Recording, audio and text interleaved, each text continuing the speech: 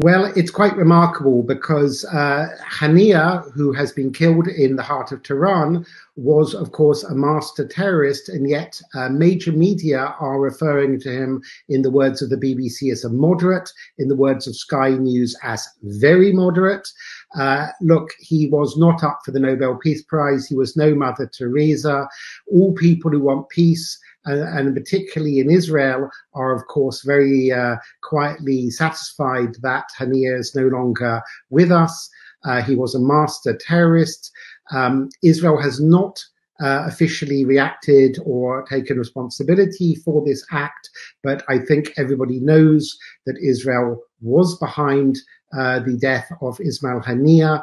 Um, the fact that this happened in the heart of Tehran, when of course Haniyeh has spent a lot of time in Qatar, in Turkey, and elsewhere, is also a very strong message from the Israeli, from the Israeli government to the regime in Tehran that they cannot protect uh, their their allies uh, in the heart of their own capital city.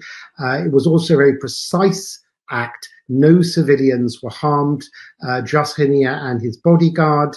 It happened, I believe, on the second floor of a building, and it is reported in Israeli and Arab media that Iranian Revolutionary Guards commanders were on the floor above and they were left untouched, which shows the precise intelligence and uh, precise delivery, whether by missile or drone, of this attack. It comes only 12 hours after a senior uh, Hezbollah commander was uh, assassinated in Beirut.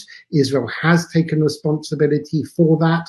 Uh, it's a, a, show of force by Israel, whose deterrence and uh, intelligence capabilities took a knock with the October 7th attack. And this is a clear message to uh, the Iranian regime and indeed to the whole world that that Israel has the intelligence and the ability to hit at those who threaten Israel's destruction um, from afar. And I think it's also a message also to the Americans. Don't be afraid of the Iranian regime. It is not as strong as it pretends to be. They cannot protect one of their closest allies in the heart of the capital city, Tehran.